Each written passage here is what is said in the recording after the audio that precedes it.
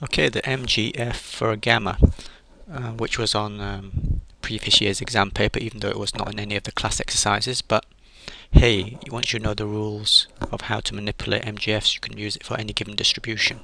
So here we go.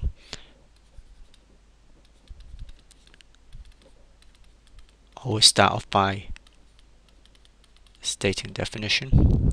X was given on the previous page. X gamma. Right, so this here, we have e to the tx times the PDF for a gamma, which was given on the previous page, so I just copy it out again. The gamma function, gamma to the k. Don't be too concerned about what that is, because that's going to disappear.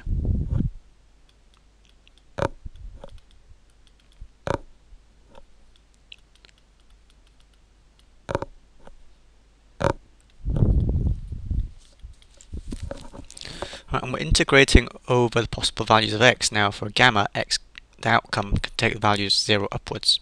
I'm using integral sign because the gamma is a continuous distribution. Like that. Okay. Yeah, I was saying don't be worried about this gamma function here, um, which my students don't see anyway.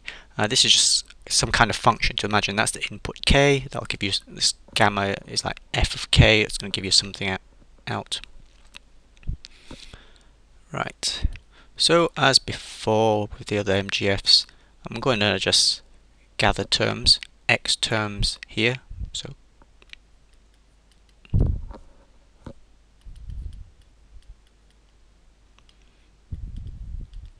hmm. uh, all right, e is k minus one x one minus theta minus t dx. Alright, now why have I written it with a minus sign instead of a plus sign? Because you might have thought plus sign is more convenient. Well, if I write it this way, I can see immediately that this integral has a chance of existing if this stuff in the brackets is not negative. Because e to a positive power it's just going to grow and grow and grow. So if you try to integrate it from 0 to infinity, it's not going to exist. Okay, so now let's just do it on the side. Remember that e to the x, as x tends to infinity, is just going to go 1. It's going to keep going. Whereas if I have e and it's got a negative value, a negative x, then it's going to this way, isn't it?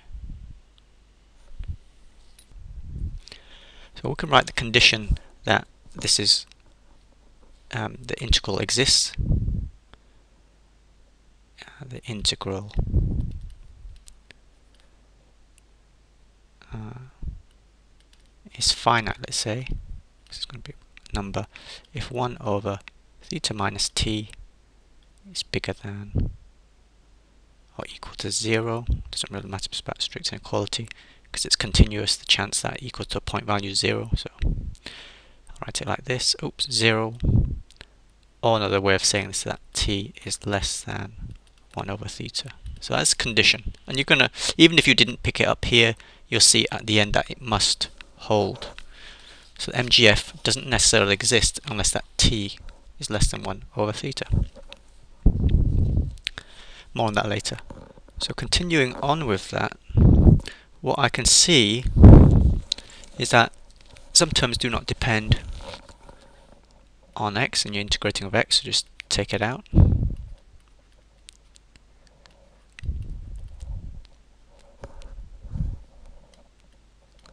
Um, to simplify things, since this thing always comes together in a lump, we might have just called it a, a as a function of k or something, then we don't have to keep writing this blob out every time. Okay, more stuff you got, got to write out increase the chances of making an error. We don't want that. Okay, then I'll copy this stuff again. Now, instead of writing this out all the time, because it's going to be a messy thing to do, this stuff all in brackets, why don't I just call it 1 over phi like that? You'll see why I want it like that uh, later. So I have got here x to the phi dx. Now, what we can recognize, and this is something I've used before, is we don't actually have to do any integration, thank goodness, is because this thing, which is called the integrand, it's what we're integrating, is it's from a gamma. And it's a technique I've shown you previously. This whole thing is from a gamma with parameter uh, k and phi. So what we have is that this is going to equal to k phi to the k in constants.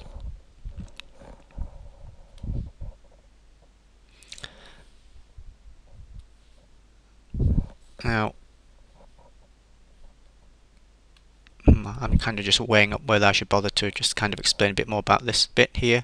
Um, so what we have is that basically just an idea that the integral of a PDF is 1, alright, for any legitimate 1. And something that is gamma with parameter k and parameter phi is going to look like what I've written earlier on, this stuff, um, no, not that stuff, this stuff here, this stuff here, but where you see k you remain right k, but where you see theta you replace that with phi. But if you do that, you can see that this is part of it. So, and, and this thing would change. Um, this theta would change to phi. And that's why this theta has gone to phi, is that phi there, and these two here remain the same. Alright, so what we have is that firstly these two guys cancel out and we've got phi over theta k. What's really good about this is that I've avoided integration altogether. So the MGF is phi over theta. Of course we can't leave it like this because we've got to, you know, what is phi? We kind of defined it earlier. So we've got to substitute it back in. Now if we just take so I'll explain now phi over theta is equal to well what is it equal to uh -huh. so let's do some working on the side here well we said 1 over phi is equal to 1 over theta minus t from here so now I'm just going to arrange to get phi up in the numerator writing this is the same as writing 1 minus theta t over phi. Therefore, phi is equal to theta 1 minus theta t. So I can write here now that is equal to theta 1 minus theta t divided by phi, that's the same as saying 1 over phi, uh, theta, sorry, 1, 1 over theta these here thetas cancel out and I'm left with 1 over 1 minus theta to the t. Therefore, MGF that we want, m to the t, which is equal to theta over phi over theta to the power of k, is going to be equal to 1 minus theta to the t, and the whole thing to the power of k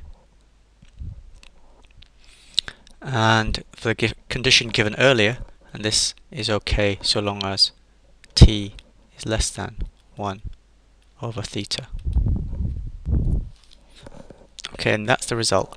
Now the next thing I want to do, I want to move on to use this to calculate the moments. First and second moment. Let's rewrite that uh, MGF. So we found that the MGF now of the gamma is O minus theta t to the power of minus k. We know that the first